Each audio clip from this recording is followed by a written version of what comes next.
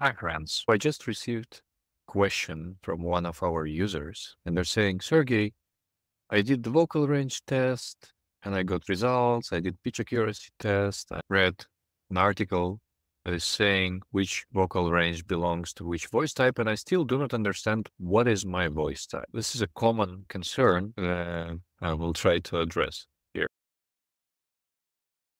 Well, when we think about voice type, it's important to, uh, to understand why why are we asking that question? What we want to know? And one obvious thing might be is that we want to sing a particular part in a particular song, or we're preparing for an audition, and that's a part in a choir or in an ensemble. Each voice type has a lowest and a highest note. And all the notes between are the range of that voice type.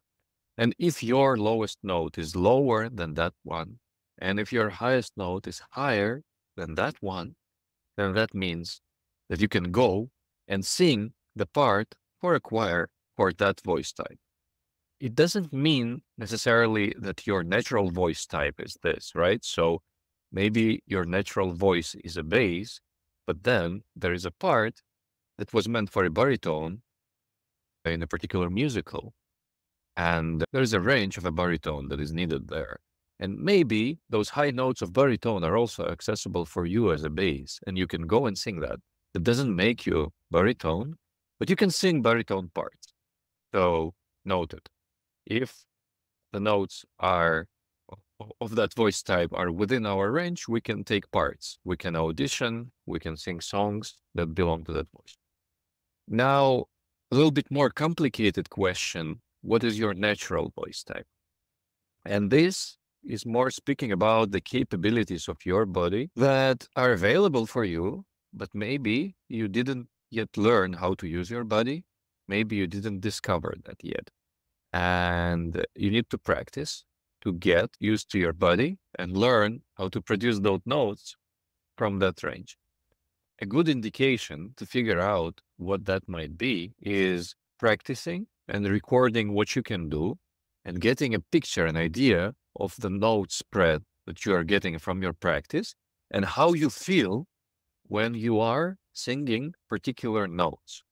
On our website, we have tracking tools that show you what notes you hit or do not hit. And this is available in the statistics with my screen that you can see, right? So this is from one of our users. I'm not going to uh, say whom, some information on how they were performing. And on this chart, we can clearly see that they sing within this range between F sharp 2 and D5. Closer to somewhere around A sharp 4, they start losing control over their tonality. What does it mean? It means that at this point, this is like not really accessible for that person. But can they go that high? Yeah, probably with training they can. And at this point, effective range that they have is probably closer to somewhere like between E3 and A sharp 4. And this is what they have to aim for when they're choosing songs. Can they learn to sing lower? Yes, they can. They can probably go as low as F sharp 2. Can they go learn to sing higher?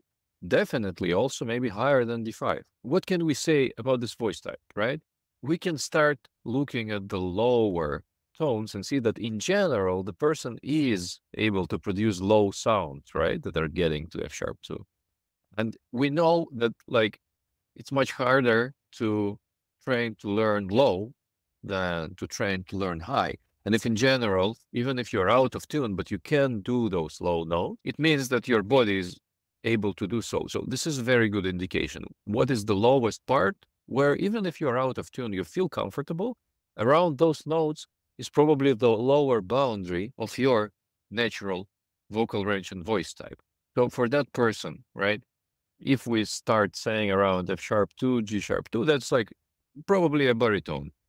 I cannot say 100% without talking to a person and hearing them because they know how they feel when they do those sounds. But that's what this picture tell, is telling me. So if you want to figure out for yourself, this is what you need to do. Disregarding if you can hold the note or not hold the note, if your body feels naturally okay producing that kind of low sound or that kind of high sound that will determine the natural range where your body feels okay. You try going low, low, low until you feel like, okay, only air comes out, no sound, I cannot resonate. That's your lower boundary. Naturally, doesn't matter if you are in tune or not, what's like the quality of that sound, if you like how it sounds or not. That's where your lower part of your natural voice is. And this is probably where your natural voice type starts. And for the highest part, it's the same, right? You might not know yet how to use the high part, but you go higher and higher and higher, and you see you're probably able to get there at some point. Like you definitely gonna discover your break, right? Your voice break, where you get out of your lower register. And probably closer to that point somewhere, you're gonna start feeling that like this is already not natural to your body. It's not just about you being untrained. It's about you getting beyond the boundaries of your body. And if you're not trained, it's hard to find that part. You probably need a teacher or a person sitting next to you, helping you, guiding you through the feelings, because feelings are very hard to measure. We cannot give you a test to measure your feelings, unfortunately, how it works. If you want to learn more about the terminology behind the things I'm saying, if you want to see the chart, what is the lowest and highest note depending on the voice type that matches to a particular range. If you want to learn what this like mixed voice, head voice, vocal break thing things mean, then you can open the link that I'm going to attach to this video that leads to one of our lessons in our free course for the beginners. And you can read all of these things. Hopefully it will structure the material better in your head. I encourage you still to take vocal range test just to have an idea of where you are right now and what you can sing right now, because that's practically what's important and what matters. And practicing pitch training if you feel you need help with the tonality. The more you go, the more data you will collect. You will be able to see how your voice changes over time, and you will be able to develop those parts of your voice that you cannot use right now. Enjoy.